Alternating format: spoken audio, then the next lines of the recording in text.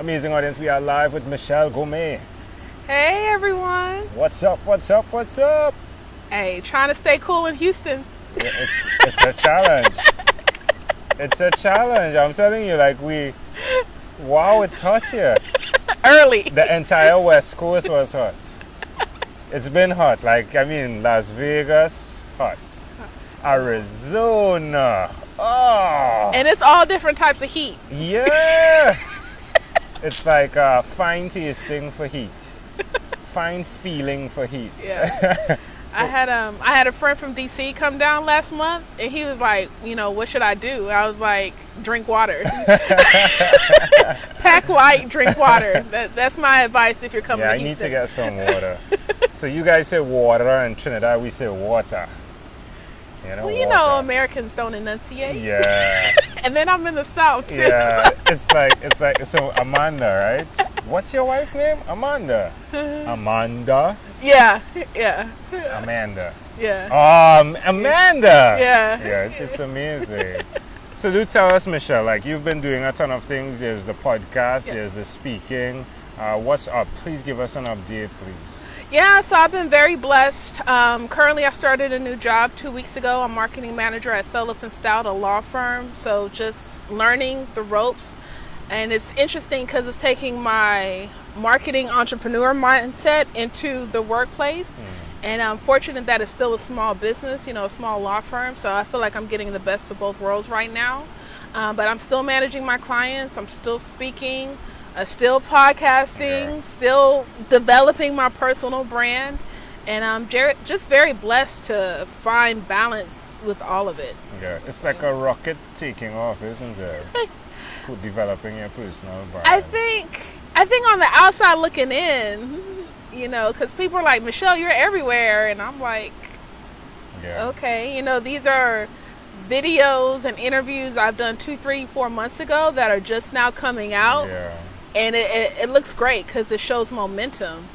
Um, so even when I'm watching SVU marathons on my sofa, the content is still rolling. Yeah, it's amazing. Yeah, I've seen that too. It just takes a bit longer, Yeah. a bit, bit, bit, bit, bit longer than you think, doesn't Yeah. it? It does. It does. When I left corporate in 2013, I was like, four years, I'm gonna blow up. If I can graduate in four years, I should blow up. Look, Yeah, it does take some time. Yeah, I think people sell lies in Yeah. terms of uh, how quickly these things can be achieved. yeah, Uh, but definitely relationships. Relationships like Yeah. these are what create momentum. absolutely, absolutely. Tell me your own unique real shoes, the segment of shoes you've worn between the ages starting Okay. with 1 to 12. Shoes. So, my parents are from West Africa, Cameroon, immigrants. Right? right? So growing up, it was kind of hard because of the culture difference. And uh, so Payless, my, my mom's like, a shoe's a shoe. And Yeah. I'm like, no, I need some Nikes. I need some Nikes. And then I think it was sixth grade, she finally gave in and probably got me like the cheapest pair of Nikes. Yeah. but I was happy and they lasted. And I think, I, I don't want to say name brand every since. It's funny how that cycle goes, right? Yeah. As a child, you want name brand, and as an adult, it's like, ah, do I, do Like, do I want to pay that extra for that? Yeah. You know. But um, that and just I've been, I think, even with the name brand, just being simple, Yeah. always been simple. What about 12 to 24? What were you wearing then? Probably everything: K Swiss, Adidas, Nikes, Reeboks. Yeah. Now I'm an old lady. I wear Crocs, I wear Crocs. and my best friend's like Michelle. I was like, I'm comfortable. yeah, I'm the Crocs guy. I'm the Crocs guy. Come on, you, you should wear something fancy, yeah, but it's comfortable. like we're just going to the grocery store. Yeah, I'm the Crocs guy. Yeah, Crocs is amazing. The first time I encountered Crocs, right? So we went to Sawgrass Mall, Uh-huh. And I'm with my mother and Amanda, right? And they're they're energized, Yeah. right? I'm like, ah, my feet. You need a Crocs. Yeah, yeah, And they get me a Crocs. yeah. And that was it.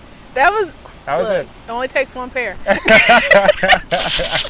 only takes one pair. You should see me power walking through the mall. It's like, this is good. Yeah, those are the good. best. Do you have any regrets when you look back from Hmm. from then to now? Well, what's then? What's then to now? Then is like that time, you know, You even back from the time A of childhood? wearing the Nikes to to now Um, to Crocs time.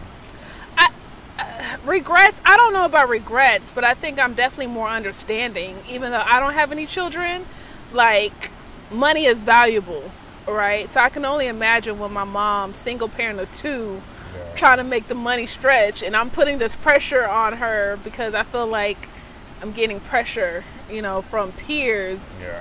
where are they now but but you know i, I think Hmm. um, I, it could be a minor regret, but definitely more understanding and Yeah. empathetic to my mom and just the value of money as a whole to anybody. Hmm. So, yeah. What are you most excited about right now?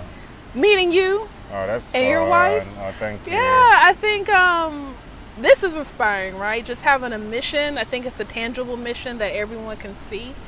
Um, I think that's a great thing. Um, overall, uh, this new job, right? Um, it's just interesting how things kind of come about, and just all as always, trying to show, improve, and move Yeah. forward.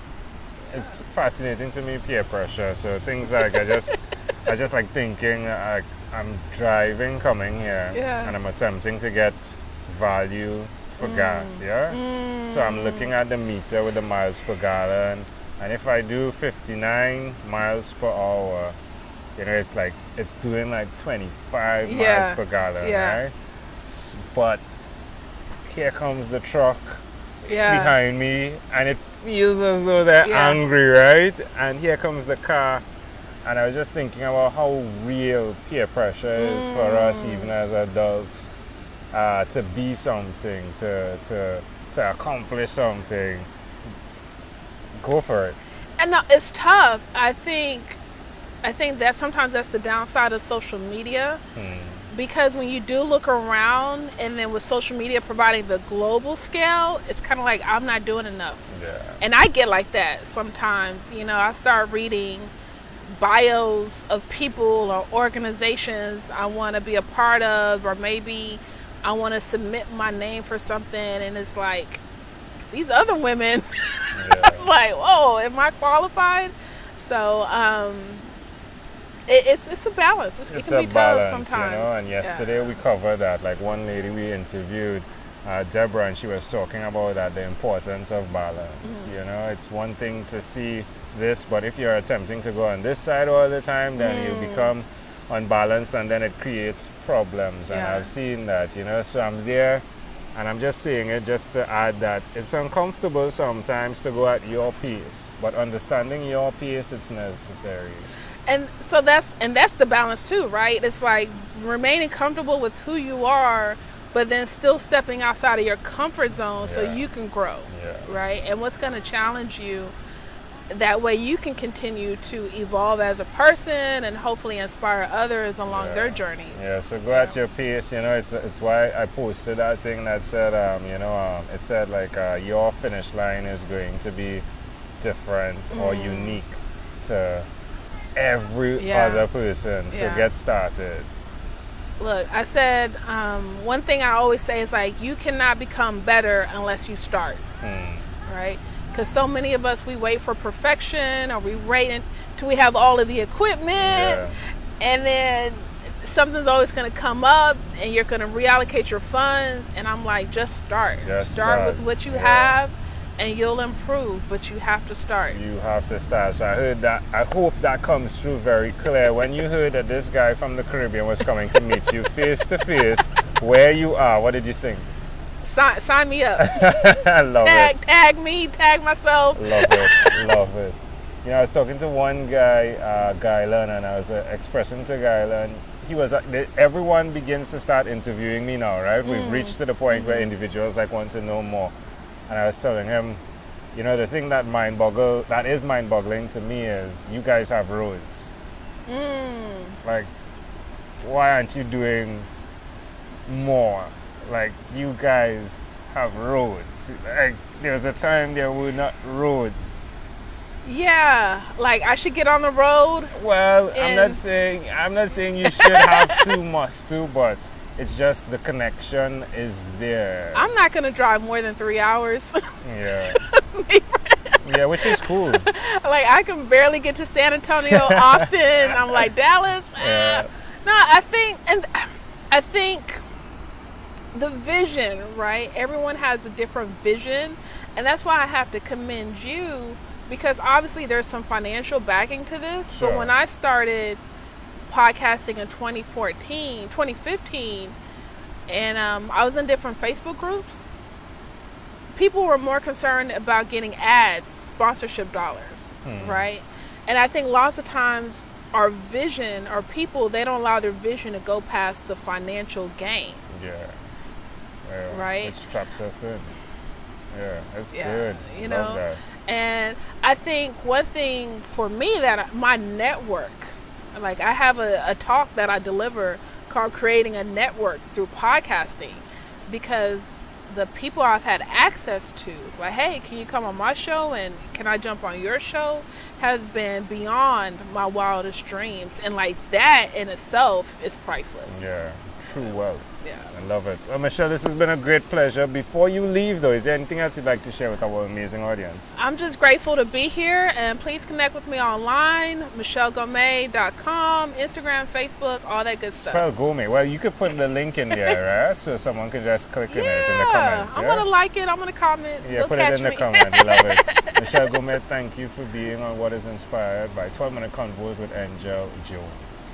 Did you have fun? I did. Always. Love it.